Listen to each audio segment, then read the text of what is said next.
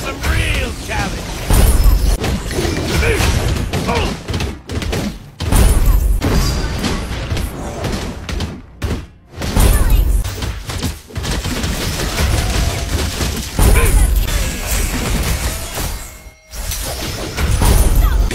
Me go, boys! This is so. Go, boys!